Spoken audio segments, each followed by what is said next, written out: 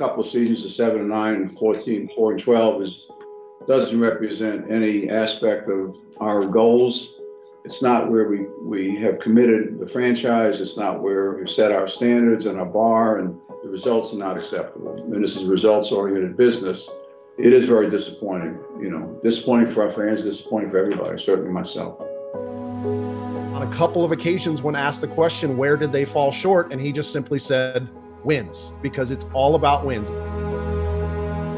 I think anytime you're going to be faced with a decision involving a coach change and a GM change, it, it's just it's, it's, not comfortable. It's not easy. You want to make sure you're doing it for all the right reasons. And I think in Arthur's case, it wasn't the expectation of our football team, our players, our coaches, certainly our fan base, and that just drove the decision to be now. We've begun this journey now with uh, hiring a new general manager, a new uh, new head coach. I expect every one of these people coming in to have a plan uh, to have a plan that will end up leading to a championship.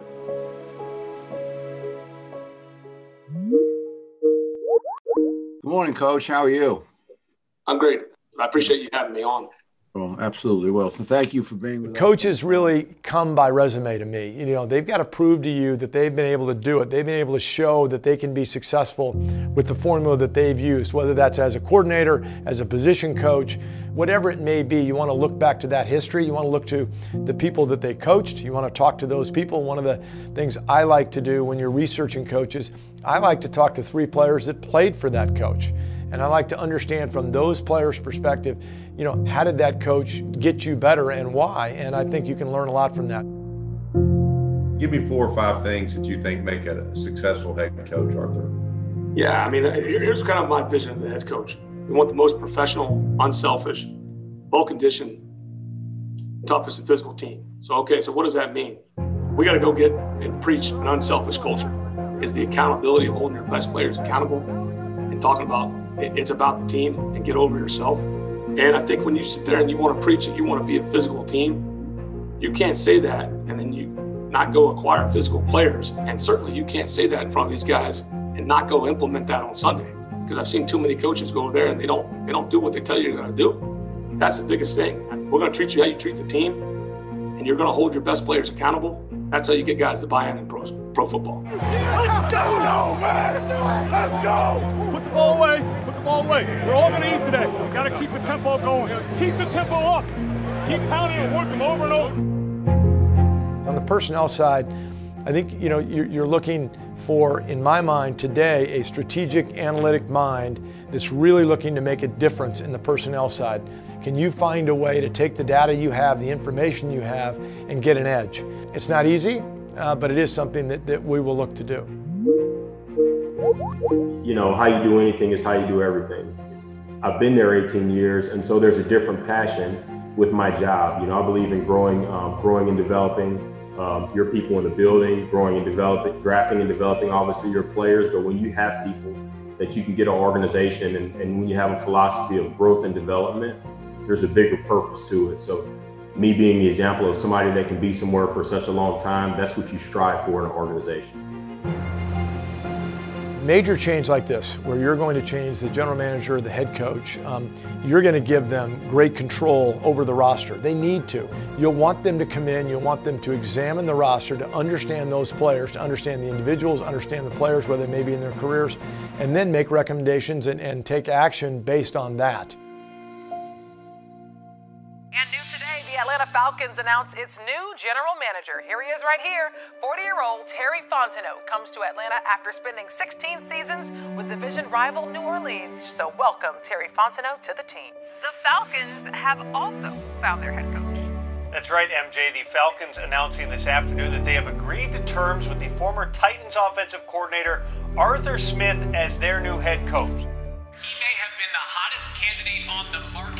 Interviewed or requested to interview for all seven head coaching vacancies. He's creative on offense, which, as you know, those are always attractive qualities to head coaching openings. So Matt Ryan, not that much younger than Arthur Smith, now has a new head coach, and the job for Arthur Smith is to revitalize this offense. After a year in which they left far too many points on the field, they need to get back in the mix in the NFC South soon. Arthur Smith is their choice to lead them there lot of work ahead for those two guys. Probably going to have very little sleep the next few weeks. Probably going to have a whole lot of phone calls and text messages, whether it's congratulatory or calling people to build out their staffs. Those two will work side by side to build this organization back up to what the owner, Arthur Blank, wants and feels like the fans of Atlanta deserve. Let's go, buddy. Today is uh, start of a new era for us. We have uh, obviously a new coach, a new general manager, and our search was uh, was extensive, and uh, and we're thrilled that the number one choice we made was uh, Coach Smith from Tennessee, and he's got a great background, great credentials, uh, had a ton of experience at Tennessee. So everything is kind of hits you, and you go through this interview process. Get the job. I mean, your mind just starts moving a million. It's like a new adrenaline, new energy, and and it just like I said, it's like a shot of espresso every morning when I wake up right now. I just want to thank Arthur Blank, Rich McKay, and the whole Falcons organization for providing me this opportunity to be the head coach of the Atlanta Falcons. It's an unbelievable opportunity and a, and a dream come true. Now, there were a lot of teams who had interest in new coach, but what was it about the Falcons for you? It was everything. From the organization from top down, from Arthur Blank to Rich McKay, uh, obviously, being in the city of Atlanta, it was all attractive, and we just felt like it was a great fit for us. For those who don't know your father, Fred Smith, uh, he is the founder and CEO of FedEx. Now, Falcons fans probably hope that they will deliver, that you will help them deliver uh, another winning season to Atlanta. On that note, I will see myself out, Coach. But thank you for joining. Thank you for having me. I called my dad.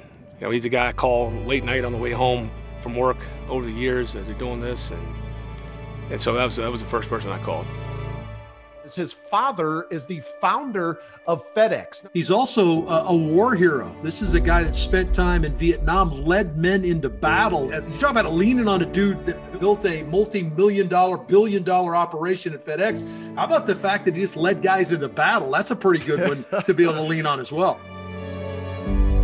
All the lessons he's taught me and my brothers and sisters is about chasing your dream, working hard, being humble, uh, you know, understanding the whole the whole process that things don't happen overnight. It takes time. Anything good, you know, to sustain, it's gonna gonna take a long time. Things don't happen just just overnight.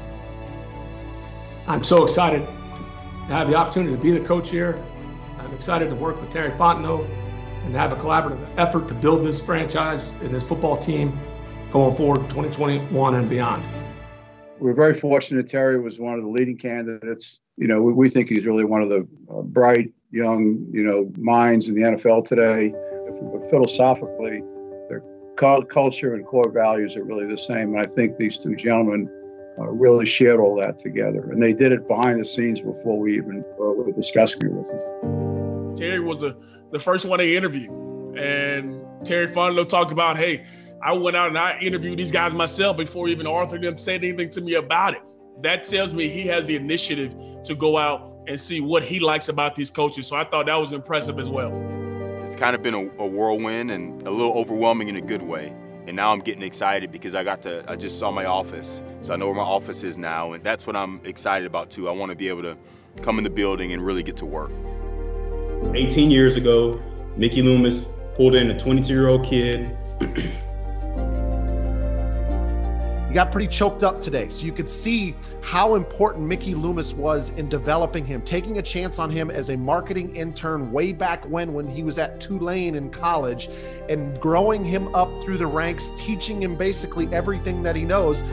My goal isn't to be a general manager. That's not my goal. Like, I'm not just trying to be a general manager anywhere I can be a general manager. My goal is to be a part of an organization that that I feel good about, and, and then I know we can win championships. So that made got me excited about this job, and every step of the way, I really felt really good about it and really good about the opportunity. It's football and family. That's what I do. That's it. My faith and my principles, it, it has to be interlaced in everything I do. And, and so eh, it, you want to you want to do things the right way on a daily basis within your job. Whatever you're doing, whatever God has called you to do, do it with passion, do it with intensity, focus on the details. It, it, it, how you do anything is how you do everything. How you do anything is how you do everything. That stuck in my eye. I said, wow, that, that's powerful. If you watched that press conference, you saw him bring his kids on there. You saw he talked about how excited they were. He talked about now there's going to be a bunch of Louisiana Falcons fans now.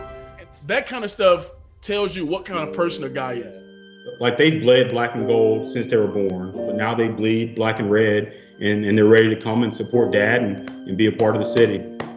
Caden, who's your favorite player? Uh, Julio Jones. Uh, good answer.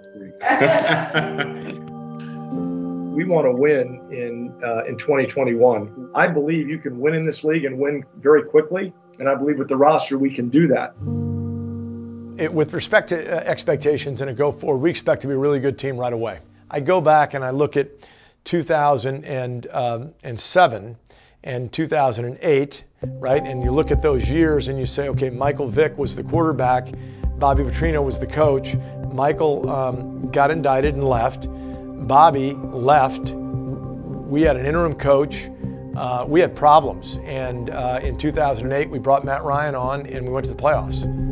Today at the Georgia Dome, the Atlanta Falcons start their 44th season in the NFL fresh and new. A new rookie quarterback in Matt Ryan and a new head coach in Mike Smith.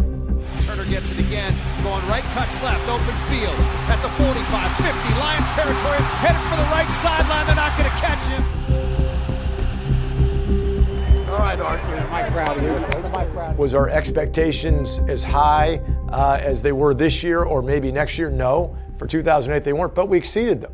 And it's because in this league, you can win. And with our, with our talent and our base of talent, we know we can win. First impression for me are everything. And both those guys uh, kicked it straight through the uprights and uh, maybe the first touchdown of the year for me, for sure. I've spoken to Terry, but we, we share the same vision. We have the same values. Uh, it won't be groupthink, but, but Terry and I, it'll, it'll be an ultimate partnership as, as we look to build this team in the short term and the long term. I would say that the first steps are obviously me and Arthur communicating a lot, uh, again, on, on our vision, uh, making sure we're aligned, and, and really discussing the roster here and how we're going to move forward. It's self analysis, and then we can have our plan moving forward. How do they win? How do they win big? How do they consistently win? How do you maintain that and sustain it? For, for Falcon fans, we've been saying this. It, it's it's a time of hope, which gives us a little bit more of a better feeling as we move forward. You want to be the most professional, unselfish, well-conditioned, toughest physical football team in the league. And in order to do that, you're going to have to find tough players and unselfish players. And I think we're going to play to the strengths of the team, and we're going to be flexible but we're going to do it in all three phases. And we're going to have guys that are great teammates and understand how to adapt. The accountability that they talked about, accountable, being accountable for their actions, making their players accountable, their best players accountable. Holding players accountable. It's something within a locker room environment that's not talked about. What I do know is he is about ball, and I like that.